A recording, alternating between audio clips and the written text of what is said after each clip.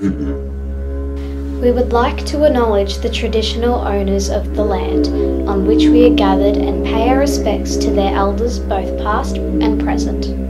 G'day, champions. Our first assembly for term two. It's going to be a special assembly this week. And we're going to be commemorating the Anzacs. We've got a couple of very special guests that we're going to cut straight to. Well, here we are, Anzac Day 2021, and uh, this year we'll get our Anzac Day. And we've got a couple of really special people here who have actually been uh, part of our school, but also served in the uh, in the Navy, in the Australian Navy. So Keith, who's teaching at our school at the moment, and Al Fenny, who's a past pupil of our school and president of the Shire Band as well, uh, were both actually servicemen in the Australian Navy.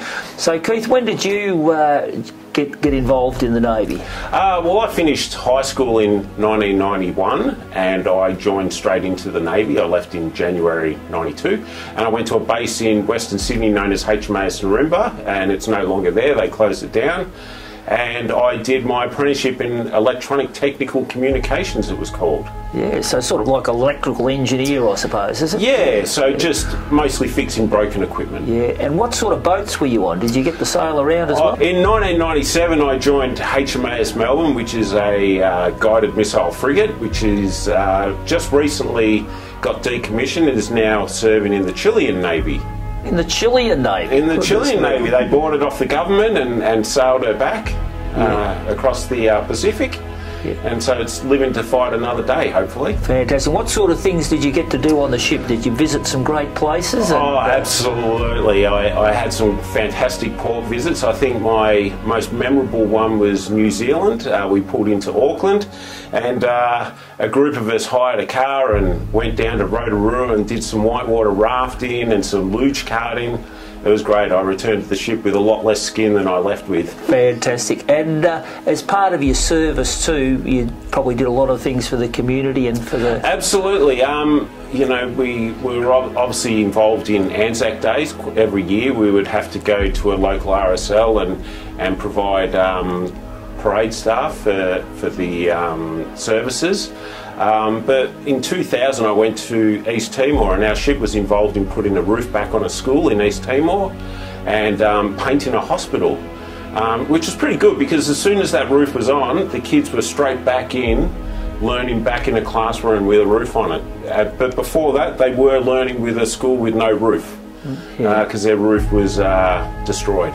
Yeah, that's fantastic. And that's just one of the things, I suppose, of the many, many thousands of things that you contributed to us, us- Oh, our society with. Yeah, Absolutely. Fantastic. And had a great time sailing around the world. Absolutely. Yeah. Best time of my life. Yeah, and Al, you were an ex-Rosebud Primary School kid, and then to Dromana Secondary, That's right, Dromana Technical School. Dromana Technical back in those days, and you probably got involved in the Navy because of a different sort of path you took on. So when you were at school, you learned some instruments and I things. learnt the trumpet when I was at school, Yeah, and straight after school, I went into the Navy Band. into the Navy band. Now that's something that's fairly interesting. We used to have the Navy band come out to school and play for us actually. Well, we, we did lots of school concerts. school concerts, Yes. and as part of the Navy band, did you get to go on a ship and that too? I did back in 1983. I was on a ship called HMAS Stalwart. It's no longer with us now. Got decommissioned in about 1987 at a guess. Right, there's a bit of a bit of a trend here. You blokes must be old because both the ships you were on are gone. Yes. That's right. Absolutely. yeah, And, um, and and we did one trip overseas for three months, up Three to months. Asia's, Hong Kong, Singapore, Japan. It was great. fantastic. And uh, some of the highlights, Al, you probably Some played at some terrific events. Well, you mentioned HMAS Melbourne. I was in the band when we de- decommissioned HMAS Melbourne, the aircraft carrier. Yes, before my time. That's But right, Yeah, yes. absolutely. And so I'd, I'd never been on a ship then. I was only young, and this ship was huge. And um, we, I was in the band, involved in the band for the um, 1982 Commonwealth Games. Yeah, and that's terrific. The and uh, opening closing the ceremony. opening closing ceremony. That was fantastic. Yes. Marching in those opening and closing Yeah, oh, ceremonies. fantastic. It was Yeah, great. Not bad for a little bloke from Rosebud Primary That's School. right, yes. And uh, you did some few grand finals and things too. Oh yes, I was. I've been to a few grand finals where we've marched before the the grand final and played Advance Australia Fair, and and I've been to the Grand Prix and marched on the track to play the Advance Australia Fair there as well. And Yeah. So yes. Yeah, so some amazing opportunities from being in our services, and we're so thankful. And on our Anzac Day, you know, we pay tribute to people like Keith and Al who've uh, served our country so well as part of our uh, Navy, or Australian Navy and Australian Armed Forces. So uh, thanks very much, boys, and thank you for your continued contribution That's all right. um, to our community and our school. It's Thank you. In 1914, when war broke out, the First World War, Mr. Charles Perrin was the principal of Rosebud Primary School. He enlisted in 1915. Other local men who joined and enlisted in those days are on our honour roll, and that's up in our up in our office. Mr. Perrin, unfortunately, was killed in 1918 and didn't return from the war. And he's one of the many, many thousands of people, or millions of people, who we honour on Anzac Day. On the morning of April 25th, 1915, Australian and New Zealand troops landed under extreme fire at Gallipoli, and it was then and in the violent campaign that followed that the Anzac tradition was forged. The elements of that tradition have inspired and offer offered an enduring example to later generations of Australians. Each year we pay homage not only to those original Anzacs, but to all those who died or were disabled in their service of their country. They enrich our nation's history. Their hope was for the freedom of mankind, and we remember with pride their courage, their compassion, and their comradeship. They served on land and sea and in the air, and in many places throughout the world. Not only do we honour the memory of those Australians who have fallen in battle, we share the sorrow of those who have mourned them and all who have been the victims of armed conflict. On this day, we remember with sympathy those Australians who have suffered as prisoners of war and those who, because of war, have had their lives shortened or handicapped. We recall such staunch friends and allies, and especially those from the first Anzac Day. May we and our successors prove worthy of their sacrifice.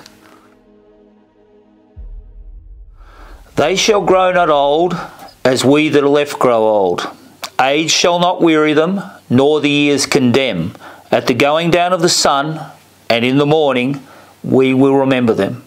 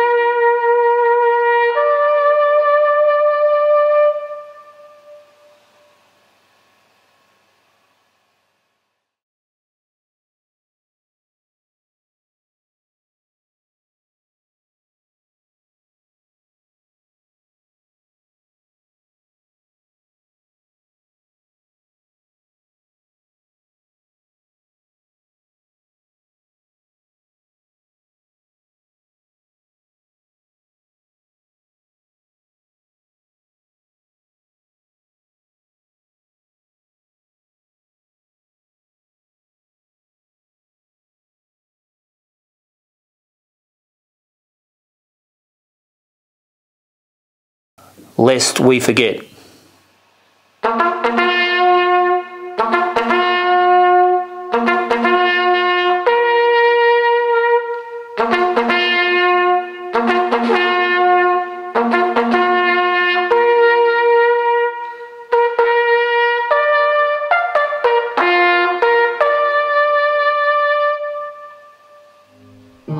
So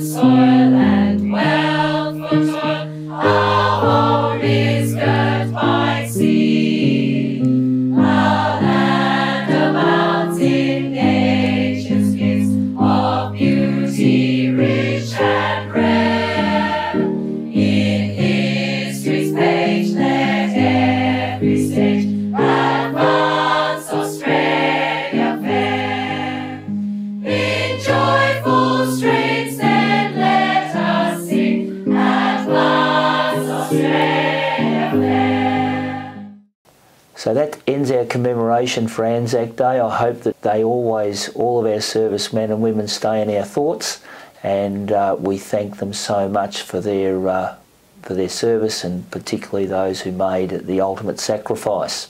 And now, On to the birthdays.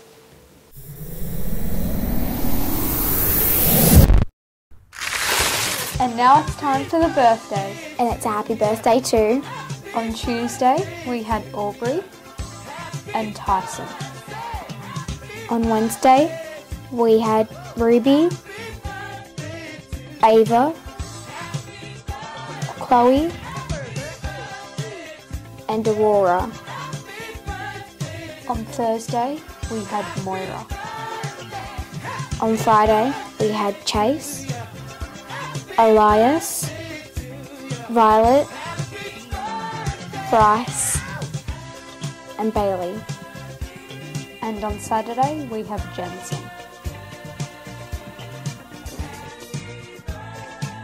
Happy birthday!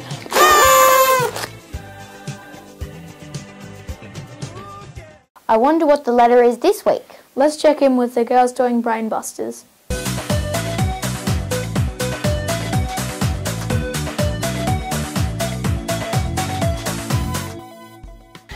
name's Emily. And I'm Lucia. And I'm Edie, and this Well, is Brainbusters! I wonder what the letter is this week.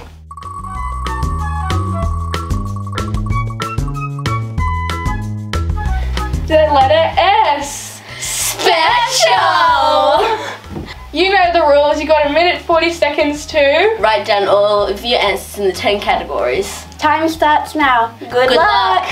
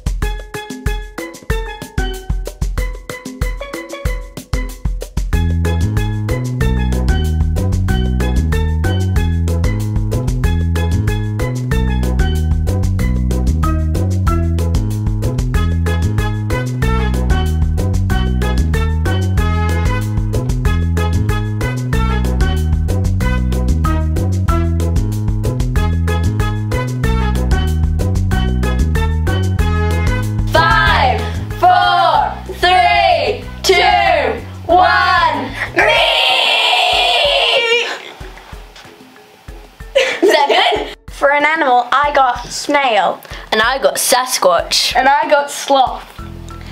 For a food, I got sweet potato. I got stroganoff. And I got spaghetti. For a country, I got South Africa. And I got St. Lucia. And I got Spain. For a singer, I got Sam Smith. I got Sia. And I got Selena Gomez. For a cereal, I got Special K. For a cereal, I got Sultana Bran. And I got Soggy Wheat Mix. For don't do on video, I got Snore. I got Sneeze. Enjoy going up? Yes.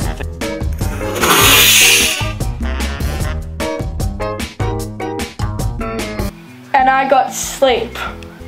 For a girl's name, I got Sophie. I got Sylvia. And I got Samantha. For a brand of clothing, I got Sports Girl. I got Speedo. And I also got Sports Girl. For a sport, I got swimming. I also got swimming. And I got surfing. And for for a boy's name, I got Sid. I got Sam. And I got Solly. If you got a different answer to us, give yourself a point. Add up all your points at the end and then put it in the Facebook feed. Thanks for watching. Brainbusters! Skills. Miss Burkle has a brand new segment. The price is right. The price is right. Hello, everyone, and welcome back to term two. We've got a new special segment today as your brain break, and it is called Burkle's Bargains. So I've got my four trialers here for a new segment, and what we're going to get them to do, and we want you to play along at home, is to order these grocery items we have in front of us from least amount of money up to most amount of money. Now we're also looking at how these kids work together as a team and come up with their answers together. Now we hope you are going to play at home as well, and if you would like to do this, on the following week, please come and see Miss Burkle next week. So, you guys are going to have 30 seconds to order them from least amount to most amount. Let's see how they go. Good luck. Are you ready? Yeah. Okay, now. Set. Go. You're allowed to talk out there. Lino. Lino. Uh, this goes there.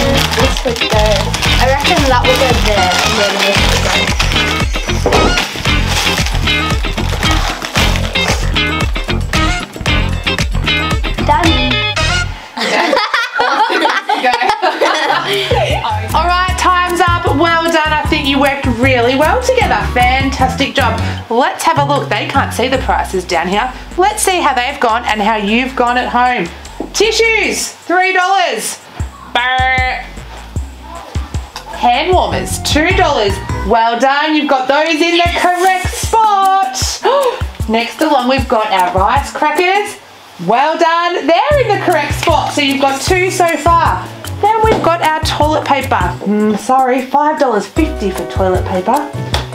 $1 for your lollies. $2.75 for your Oreos.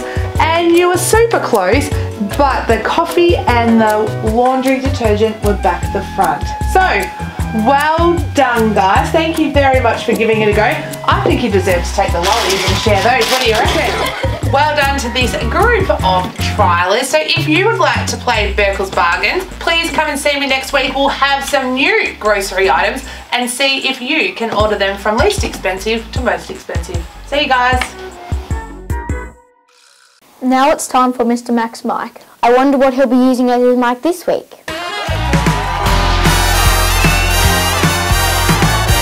Okay, welcome back to another week of Mr. Max Mike. Uh, after the holidays, I hope everyone had a wonderful break. Uh, I know I did. Got away on a uh, nice little adventure in my caravan, so hopefully you all had a nice break. Now, I've got some of our grade sixes here who are involved in the uh, environment, a couple of our environmental leaders, but also people who are passionate about making our school a tidier place. Now, at the start of the year, we did do a very big speech on how to clean our school but and it worked quite well. However, we're back to square one again. There's a lot of rubbish in our school, and we need to take a little bit more pride in the school and our own environment so that it doesn't end up out in the bay. So we're out in the recycling centre.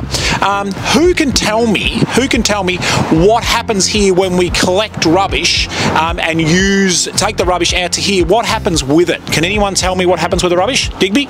Um, it gets collected and then it gets it goes to the tip. It does go to the tip, and because we've got our four different coloured bins, it gets separated, yeah? Yeah. So we're looking after the environment. When we come up here um, and the kids are separating within their classrooms, girls, I don't mind who answers this, um, when we separate in our classrooms, it's really important to choose the right bin, isn't it? Can you explain why it's important to choose the right bin? Because they all have their different types. And we don't want to be mixing, don't want to be cross-contaminating, do we, Digby? Well, yeah, and also the reason is because like with the recycling, you can like recycle that, and with the soft plastic, you recycle it a different way. But if there's like a bit of landfill in the recycling, then they have to scrap. They have to get rid of all of that recycling, so because they can't make out of it. They do. They anything out of it? They have to separate it, and they have to just throw it all in what we'd call the red, so which is the main disposable, the uh, all the general waste. So we've got to be better. Will we all agree we've got to be better? So kids, make sure you're doing your part out in the yard and cleaning up the rubbish. If you're out playing in a game and there's a piece of rubbish on the ground, pick it up and put it in the closest bin. We're going to go for a walk around the school now and find out where all the bins are. Follow us. Here's the bin that's on the oval. Here's the canteen bin. Wait, hold on. There's heaps of rubbish here. Well done.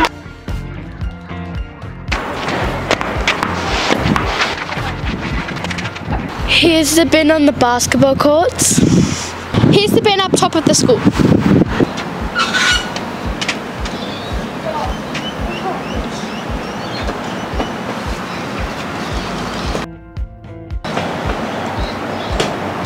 This is Mr. B's bin. This is the bin Up top near the art room.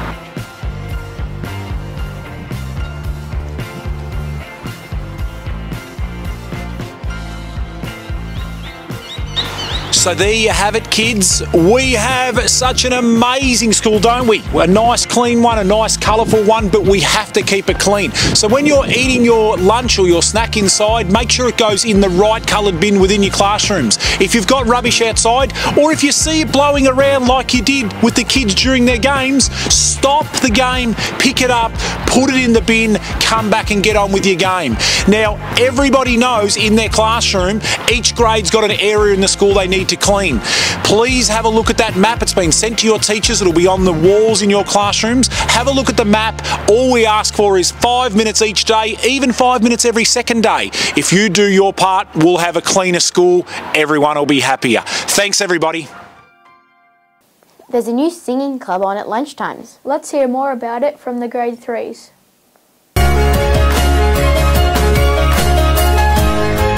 Hi, my name is Amelia. Hi, my name is Bella. Hi, my name is Veda. Hi, my name is Mail. Hi, my name is Dahlia. Hi, my name is Headley. And we're doing Singing Club! Mondays, first have a lunch. Music room. Wednesdays, first have a lunch. Music system. Hope to see you there! Let's check out the Mighty Ducks footy tipping. I wonder who will win this week.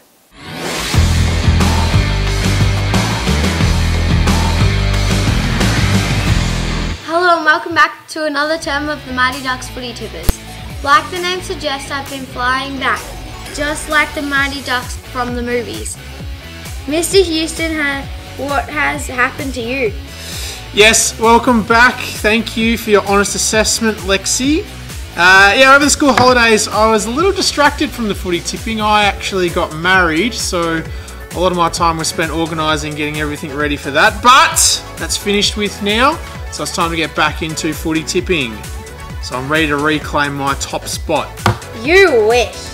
Today I have Eliza, Steph, and Tate. Steph, GWS or Bulldogs? Bulldogs.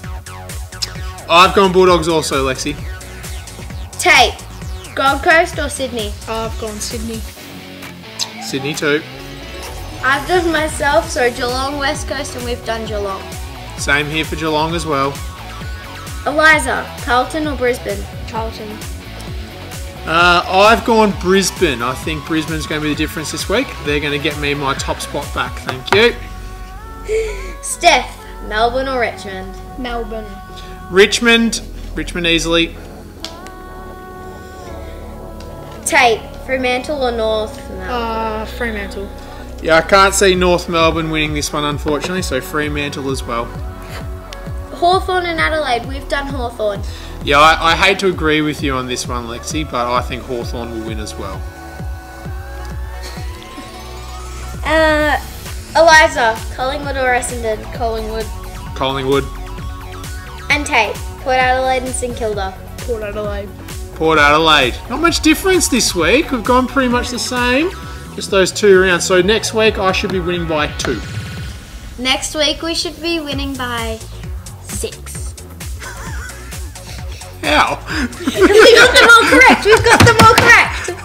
We've only got two that are different. I know. So you could only possibly be winning by two. Well, I'm gonna win by six. Because you're gonna get zero. Because you're gonna get false. Alright. See you next week for another episode of Foot Mighty Ducks Footy Tippers. Now it's time for Students of the Week.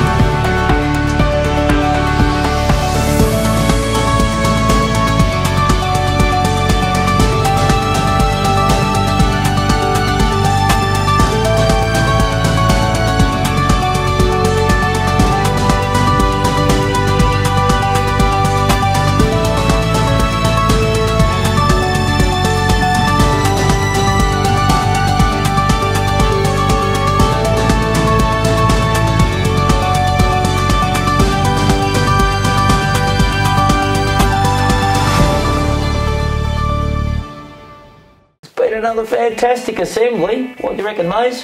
Mighty Ducks. Mighty Ducks, yeah. So that they're uh, the footy tipping's going well. Yeah. And Miss Burkle's bargains. Miss Burkle's bargains, and it'd be remiss if we didn't finish assembly talking about Miss Burkle's last segment, the April Fool's joke. Mr. Fisher is still here. Right, were you fooled? Yep. Yeah, what about you, Bose? Yeah, I think she fooled a lot of people. So, uh, no, Mr. Fisher and Mr. Mack are still here. So, we'll see you later. I hope you've enjoyed assembly. Um, have a terrific Anzac Day, and uh, I'm not sure whether to go pies or go bombers, not sure. Bombers. Bombers? Pies. Pies, right. We'll see you next week.